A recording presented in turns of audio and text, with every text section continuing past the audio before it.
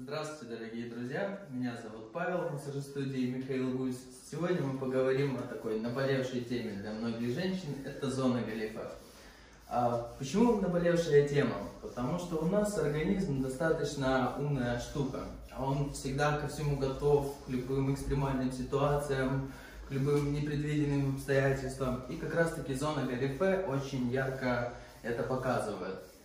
Дело в том, что эта область зоны галифе находится в таком месте, где малоподвижный, а, мало подвижности происходит в суставе. Она происходит достаточно глубоко, и мышц здесь достаточно мало. Здесь заканчивается ягодичная мышца и уже переходит в фасцию бедра. Поэтому активности как таковой достаточно активной нет в этой зоне.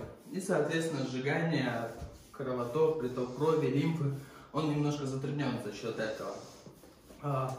И, соответственно, он уходит в, последнюю, последнюю очередь. Поэтому здесь немножко нужно поработать.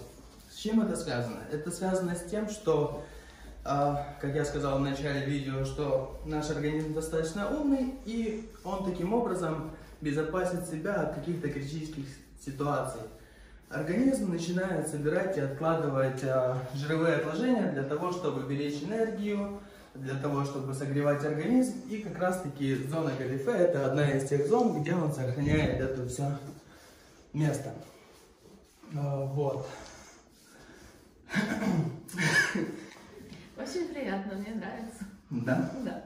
Вот, как раз таки зона галифе это то место, куда наш организм решил отложить вот эти все запасы, наши резервуары. А, когда происходит работа с зоной галифе, во-первых, работать с самой зоной нужно достаточно жестко, потому что мягкие воздействия, да, они улучшают, но за счет того, что э, там образовывается достаточно плотная масса, из-за того, что нет, опять же, притока крови и лимфы, нужно воздействовать достаточно глубоко. Застой получается. Да, соответственно, происходит застой, и надо, надо немножко поработать. Причем работать нужно не только с массажем, а работать нужно, соответственно, вместе с физкультурой, потому что здесь заканчивается ягодичная мышца, и когда образуется складочка под ягодицей, здесь начинают образоваться все вот эти вот самые проблемные зоны. И когда мы разбиваем, мы, соответственно, сразу же должны подкачивать ягодичную мышцу, чтобы она подтягивалась вверх и подрабатывала, убирала эту зону. Вот, как я вначале сказал, зона достаточно проблемная и воздействовать на нее нужно комплексно. А, так как приток крови лимфы в данном месте затруднен, а, очень хорошо рекомендуется комбинировать, а, работать с разными обертываниями, горячими, холодными обертываниями, чтобы улучшать тоже приток крови лимфы. Очень хорошо делать медовые массажи, он также очень глубоко улучшает приток крови. А, Скрабирование. Скрабирование различных. В общем, все методы, которые могут улучшить приток крови в данном месте, они всегда Как будут вы относитесь к сухим щет... массажу с сухой щеткой? Массаж с сухой щеткой такая достаточно разнообразная тема, потому что массаж с сухими щетками, он сам по себе очень даже неплохой массаж, но есть э, большая проблема того, что многие просто не умеют использовать сухую щетку. Многие берут вот как раз таки на зону галифе очень часто и воздействуют. Но проблема в том, что воздействуют локально. Девушки берут, видят проблемную зону и начинают максимально воздействовать только на одну зону. Тем самым они травмируют капилляры, они а, начинается появляться варикозная сеточка из-за того. Еще и, наверное, это алгоритм э, работы, да? Это не хаотичные движения, там надо как-то по лимфатическим Да, нужно по лимфатическим системам, но опять же, основная причина здесь, что все воздействуют. Здесь очень удобно, мы взяли А, я и трем, и трем одно место, а воздействовать нужно на все тело. Нужно воздействовать, да, как сказали, по лимфатическим узлам, нужно воздействовать по всему телу, чтобы этот приток шел равномерно. Тогда и результат будет намного интереснее, и болевые ощущения, и приятность, и тонус кожи, он будет э, работать и улучшаться достаточно А банки? равномерно. Ну, это про домашний уход, да, банки. А можно все-таки еще по, по щеткам? Э, Девочки и щетки, ну вот э, сухая щетка это очень круто, особенно для девочек, у которых стоячий образ жизни, которые вот будут совмещать с массажем. Но только делать это нужно каждый день перед тем, как идешь в душ. Действительно, как Паша уже сказал, воздействовать на все тело, желательно вот снизу вверх.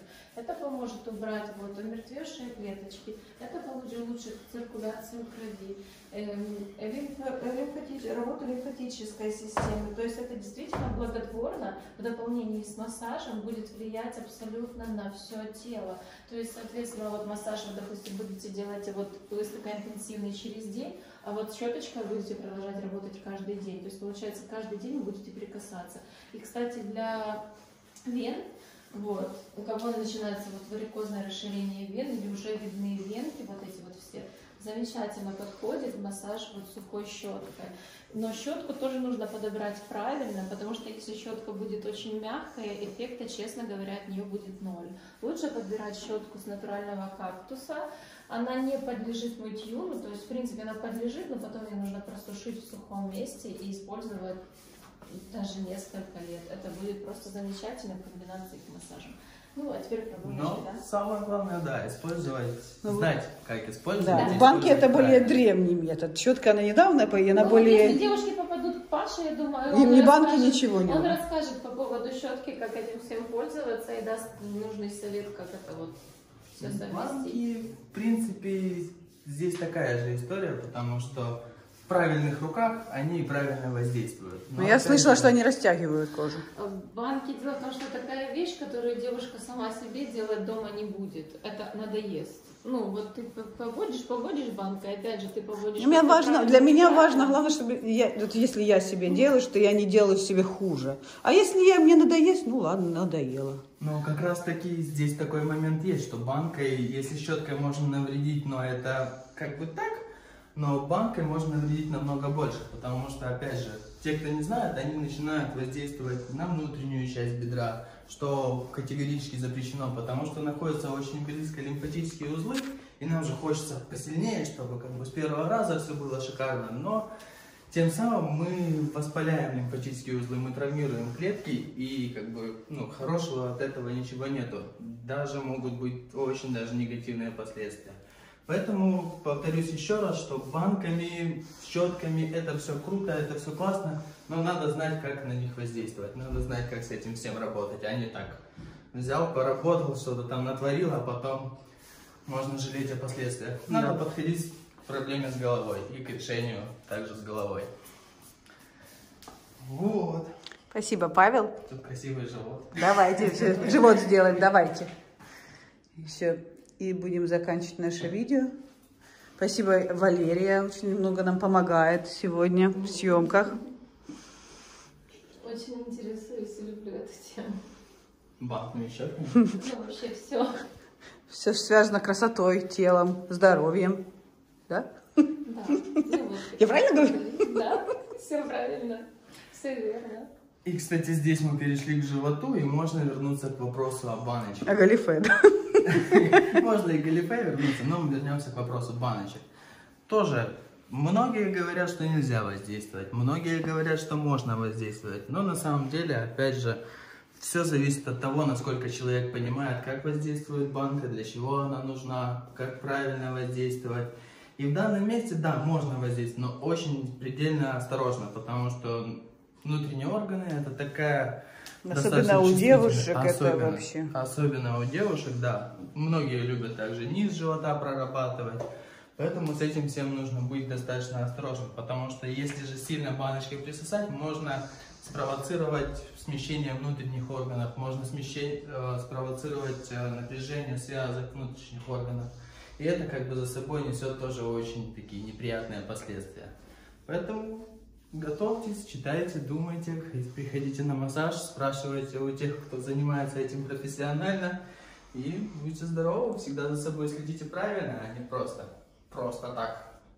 Спасибо большое, Павел, Валерия. Будьте здоровы. Подписывайтесь на наш канал ставьте лайки.